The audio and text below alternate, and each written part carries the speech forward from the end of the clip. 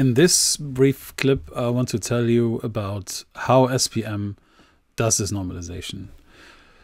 So the goal is to get from the original image, your T1 image, to a normalized T1 image. That means we need to align the T1 image with a, a normalization template such as this one, uh, such that the final data then will be in the exact same space as the normalization template. So this is normalized data here on the right and the template on the left. And you can see that there's quite a good match in the front of the brain uh, and in the back of the brain. And then in some near, uh, anatomical landmarks, such as the corpus callosum here, um, that give us a pretty good match. So how does SPM do this? And uh, just as a upfront, we will use a relatively new method that um, uses tissue probability maps to warp the T1 image into not just one template, but six different templates.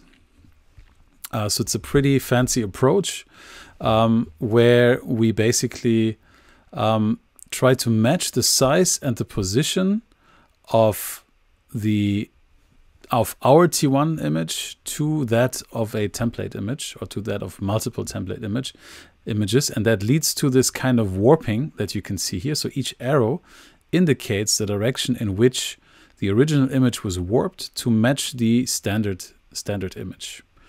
And then here you can see um, exactly the type of warping that was applied to, in this case, each voxel in this in this 2D slice. And this is done then for the entire brain, uh, for the entire volume of the brain, leading to a normalized image um, in the end.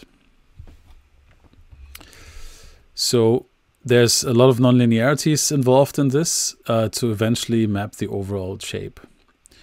Now, while there are some older methods available, we are going to use this, this new method in class um, that allows us to use much more information that is available via these tissue probability maps and basically, what they are using is um, they're using a distribution of different um, classes of tissue types that that are generally distributed in similar fashions across brains, and those include gray matter tissue. This is the gray matter tissue probability map. This is the white matter TPM. So those are fiber tracts. Those are neurons here in the first one, and the cere cerebrospinal fluid uh, TPM which you can see there's fluid surrounding the brain that's sort of covering it from, from bumps and fluid within the brain um, that is holding the brain afloat. So, so basically we can use this information uh, which gives us an improved spatial normalization in the end. There's three more TPMs that SPM uses. Um, they include uh, sort of the skull, soft tissue, and everything outside of the brain. So it identifies these different classes of, of um, tissue types and during this identification also simultaneously transfers the image into normalization, uh, no, normalized space. So it's a unified model basically. Um, these TPMs are used as a prior in Bayesian statistics uh, and, and this gives us, again, improved normalization outcomes. And they're derived from a large data set, uh, namely the IXI data set that uses the ICBM 452 atlas and other data. So we're using a lot of information from a large number of brains that are registered to common space to classify the brain into different types of, of tissue um, basically to segment the brain, right, into these different types of tissue classes. And during the segmentation, also align each T1, so each anatomical image, uh, into normal space with these normalized templates, which gives us an improved normalization. And the model that we're using is called unified segmentation. Um, and it, it does a number of things. It does a bias correction, which there's some biases that we introduce uh, within the scanner, so field homogeneities, inhomogeneities, sorry, um, that are then uh, corrected. That's the first step of this. So we, we're reducing noise, we're reducing artifacts, intensity, inhomogeneities um, to basically correct for this. And then the next part is we use the tissue probability maps as priors. So again, these are, this is Bayesian statistics. So we have prior probabilities about which part within the brain applies to which um, tissue class. Segment the brain into gray and white matter, as well as cerebrospinal fluid and background, and two additional classes. During segmentation, normalization uh, takes place.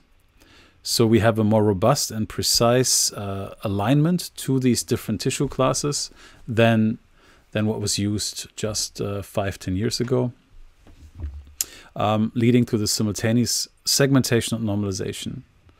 And here I want to just give you a sort of quick overview of, of how this is done. So we have distributions in terms of the intensity. So this is on the on the x-axis here, we have an intensity level within the T1 image, within the um, anatomical image that, that is acquired for every scan. And for each intensity, there is a distribution of likelihoods, of probabilities that this voxel then indeed belongs to a specific class. So white matter has a low intensity in a T1 image, whereas air and background has a relatively has an even lower and sorry, this is a high intensity here. White matter has a high intensity, whereas background has a low intensity. So zero is down here. That means low. A thousand means high. And then gray matter has a somewhat um, reduced intensity relative to white matter, the green line here. And then again, CSF again is reduced. So we can use these probability distributions in the segmentation um, algorithm. And this allows us then for each voxel to apply a sort of likelihood that it belongs to one or the other class.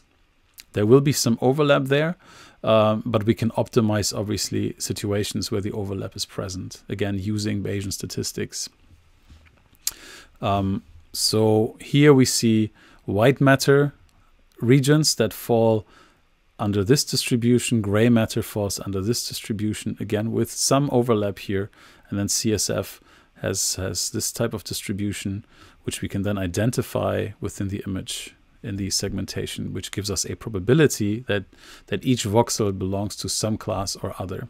So what SPM then does is it uses the tissue probability maps and warps these uh, these maps to the images that we give. So, so the subject specific images, the T1 or anatomical scan. Um, this is what's shown here. To uh, to to get a best match between each tissue probability map and the subject's um, the subject's anatomical scan.